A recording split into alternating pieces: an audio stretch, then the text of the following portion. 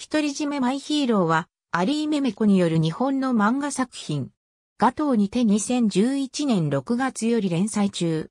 独り占めボーイフレンドのスピンオフ作品。2021年5月時点でシリーズ累計発行部数は200万部を突破している。自分の居場所を求めていたヘタレヤンキーの瀬田川正宏は、熊殺しの異名を持つ高校教師、大柴康介と出会う。康介に憧れを抱き射程になった正宏だが、高校1年生になったある日、お前の気持ちには応えられないと告げられる。突然の出来事に困惑する正宏だったが、徐々に、康介に対する憧れ以上の気持ちを自覚し始める。自分の問題は、抱え込んでばかりで他人を頼れない正宏に対し、自分の腕の中で泣かせ幸せにしたいと願っていた、康介。かけがえのないヒーローに出会うことで始まる物語が、繊細な心理描写と個性豊かなキャラたちと共に描かれていく。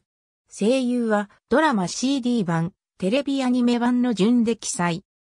ドラマ CD 独り占めボーイフレンド2014年9月26日発売 MMCC-3184 ドラマ CD 独り占めマイヒーロー2015年11月6日発売 MMCC-3193 ドラマ CD 独り占めマイヒーローに2016年8月24日発売 MMCC-3205 ドラマ CD 独り占めマイヒーローさん2017年6月21日発売 MMCC-3214-2017 年7月より9月まで ATX 東京 MX BS 日テレにて放送された。ありがとうございます。